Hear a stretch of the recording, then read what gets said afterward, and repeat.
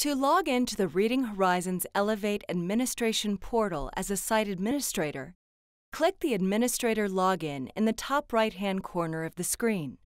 Enter your username and password and press Login. The Class Roll tab is selected by default each time you enter the Administration portal. If you do not see a Class Roll tab, we recommend you watch the Account Administrator tutorial first and then watch this video. The Class Roll tab has two options, Students and Groups. The Students option is selected by default. The Student tab shows all of the students that have been added to the site. This list can be sorted by any of the column headers and can also be filtered by instructor or student group. You can also add, edit, or delete student groups here as well. To add a student, click on the Add Student button. To create a student, you will need to provide a first and last name, a unique login, and the student's grade level. You will also need to assign the student to an administrator. The unique login name should be something that is easy for the student to remember. Students will need to use this login to access the software. If the student is an English language learner, check the ESL box and then select the appropriate language from the Language Track drop-down box. Enabling this feature will provide the student with native language narration in the selected language. Please note that this option is only available if a language pack has been purchased. The language packs that are available for purchase are Spanish, Mandarin Chinese, Japanese, and Haitian Creole. The Advanced Settings button at the bottom corner of the page provides access to most of the settings that determine what the student has access to and when. To learn more about each setting, hover over the question mark on the right. A couple of things to note selecting student settings. Number one, if games are disabled, the Games tab will not be shown on the student dashboard. Number two, enabling color overlays provides a drop-down section for the student when they log in. Students can also be assigned to groups at this time. Click on the Gray Groups tab and select the group or groups to which this student will belong from the list on the right. Then press the arrow button to complete the association with the group. The last item to cover when adding a student is the Overrides tab. Be aware that overriding lessons is discouraged unless deemed absolutely necessary. The competency-based nature of the software adapts the student's lesson sequence to best fit the student's needs in order to maintain an appropriate pace for the students. However, when overriding lessons is found to be necessary, the following instructions are provided to do so. The Overrides tab is divided into six chapters. The lessons for each chapter are listed in the order in which they will be presented. Lessons with a green check mark indicate the lesson has been completed. Black indicates a lesson that has been overridden. Yellow indicates the current lesson. Gray means the lesson is yet to be completed. To override a particular lesson, click on the lesson and then select the Override button.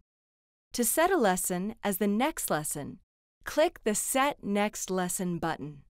Please note that any uncompleted lesson prior to the new next lesson will be overridden. To clear a lesson that has been overridden, select the lesson and then click Clear Override. If the student has progressed past the lessons for which the override has been cleared, then that lesson will be set as the next lesson for that student. If you would like a student to retake a lesson that has already been completed, Select the desired lesson and then select Reset Lesson. The reset lesson will be set as the next lesson for the student. Click Save Student to save the student information. To edit the settings for a single student, double-click on the desired student. To edit multiple students at the same time, select the desired students while holding the Shift or Control key and then click the Edit Multiple Students button on the left. Please note changes or edits will not be applied to any students that are logged in during the edit event. To create groups, click the Groups tab. When the group option is selected, you can add, edit, or delete groups. A list of the existing groups is shown listing the group name, the group owner, and the number of students in each group. To edit a group, double-click on one of the groups in the list. Here you can change the name of the group, the group owner, and the students assigned to the group. To add new students, select from the available students on the right and drag and drop them to the group list on the left.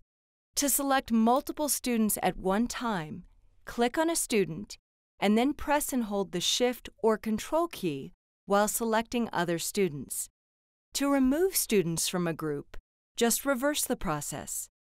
When all the desired changes have been made, click the Save Group button.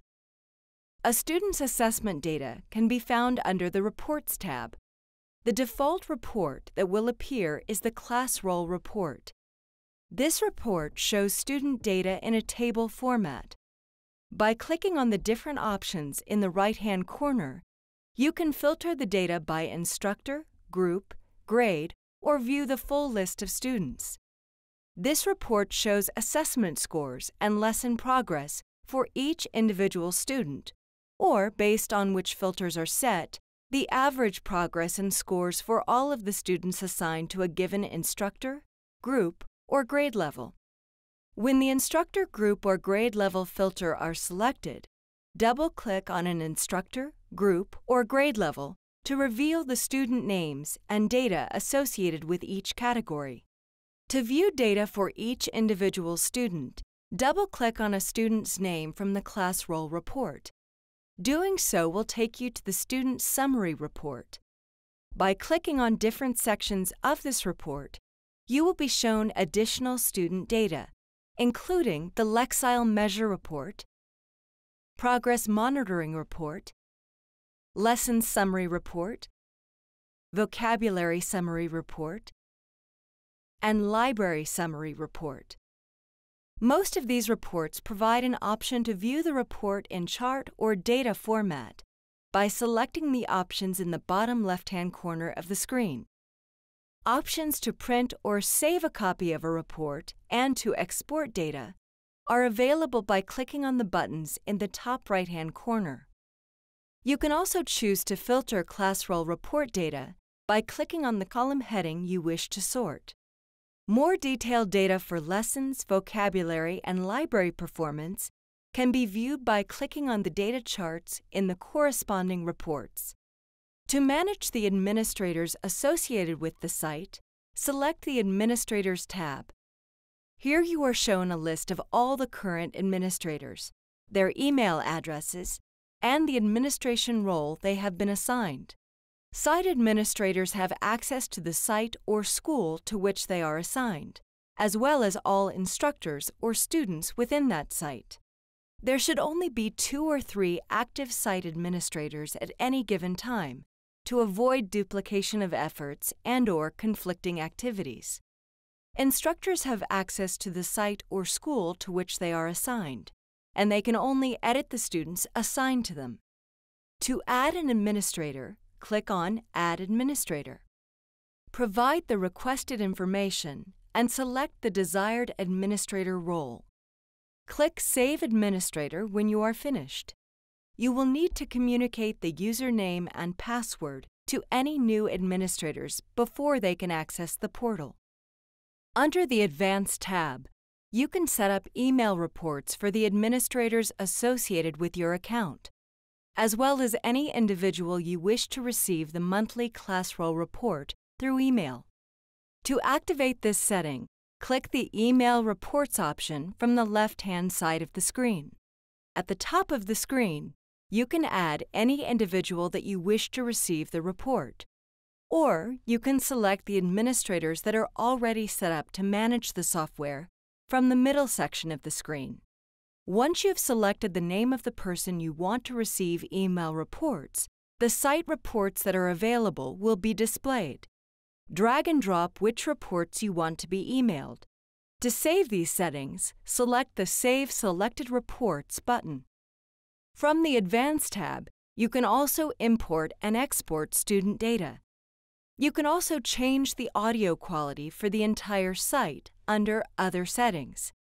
We recommend leaving the quality high unless there are bandwidth concerns or if the lessons take a long time to load. Also under Other Settings is the Current Users list. Occasionally, a student's account may remain logged in even after they have exited the software. To log the student off, select the desired student and then select Reset Student. Use caution when using this feature. If a student is using the software while they are reset, they will lose some of their most recent data. To log out from the administration portal, click Log Out in the upper right-hand corner.